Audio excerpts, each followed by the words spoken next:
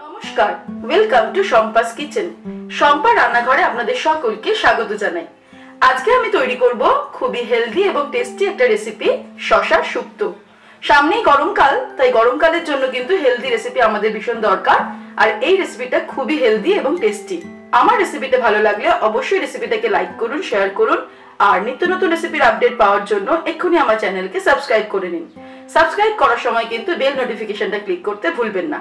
তাহলে চলুন আমরা তৈরি করি শশার শুক্তো শশার শুক্তো তৈরি করার জন্য আমাদের যে উপকরণগুলি লাগবে সেগুলি হলো, আমি একটা বড় সাইজের শশা, এরকম মাঝারি মাপের টুকরো টুকরো করে কেটে নিয়েছি। সজনে ডাটা নিয়েছি দুটো, টুকরো টুকরো করে কেটে নিয়েছি। একটা ছোট পেঁপের চার ভাগের এক ফালি নিয়ে আমি টুকরো টুকরো করে কেটে নিয়েছি। দুটো ছোট সাইজের উচ্ছে লম্বা লম্বি কেটে নিয়েছি। রাঙা আলু বা মিষ্টি আলুও একটা বড় সাইজের লম্বা লম্বি কেটে নিয়েছি। একটা কাঁচকলা কেটে নিয়ে দুভাগ করে লম্বা লম্বি কেটে নিয়েছি।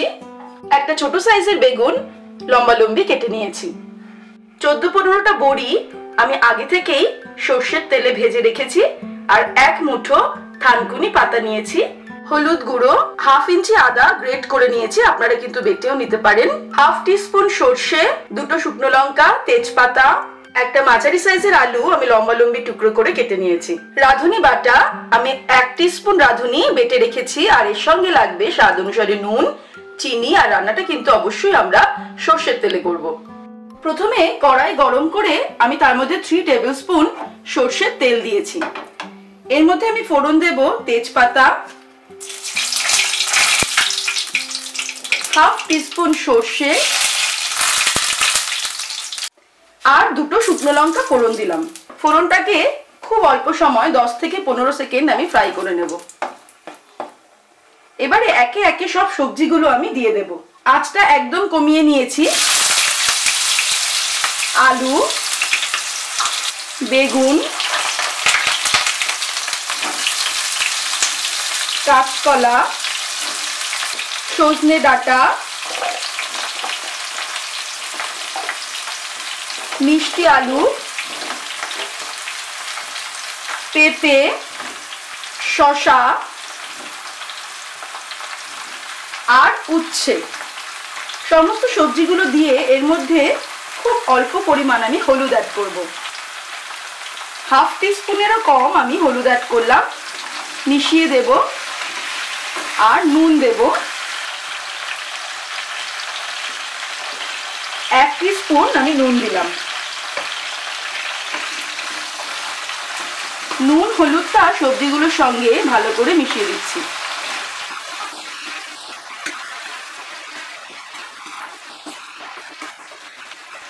এবারে আঁচটাকে একদম কমানো অবস্থাতেই আমি এটাকে ঢাকা দিয়ে দেব। দশ মিনিটের জন্য আমি ঢাকা দিয়ে দিলাম। দশ মিনিট হয়ে গেছে। এবারে আমি এর মধ্যে আমি কিন্তু মাঝখানে একবার একটু নেড়ে দিয়েছিলাম। এর মধ্যে আমি অ্যাড করছি গ্রেট করে রাখা আদা কুচো, থানকুনি পাতা আর চিনি। আমি প্রথমে এক স্পুন চিনি অ্যাড করলাম। আপনারা কিন্তু নুন, চিনিটা স্বাদ অনুসারে অ্যাড করবেন। ফ্লেমটাকে বাড়িয়ে দিয়েছি, দিয়ে এটাকে এবার আমি কষাবো। আদার মিশ্রণটা যাতে সবজির সাথে ভালো করে মিশে যায়। ভালো করে কষিয়ে নেব।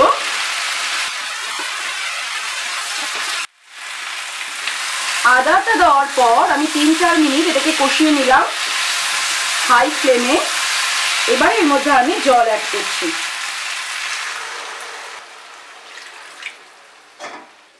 তিন কাপ আমি জল অ্যাড করলাম।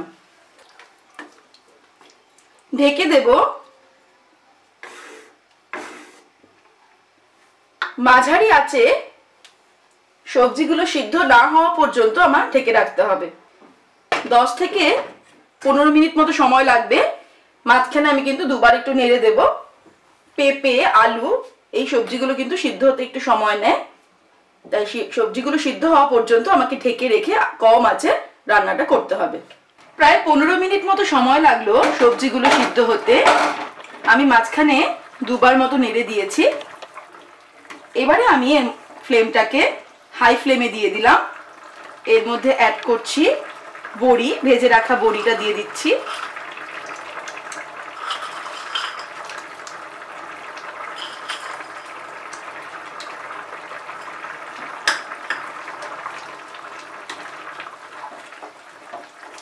আর দেব রাঁধুনি বাটা। এক স্পুন রাঁধুনি আমি বেটে রেখেছি। রাঁধুনি বাটাটা দিয়ে দিলাম। নুন মিষ্টিটা কিন্তু নিজেদের স্বাদ অনুসারে অ্যাড করে নিতে হবে।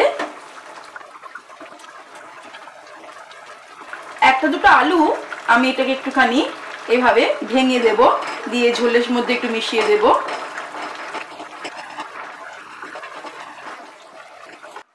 হাই ফ্লেমে আমি তিন চার মিনিট ফুটিয়ে নিলাম।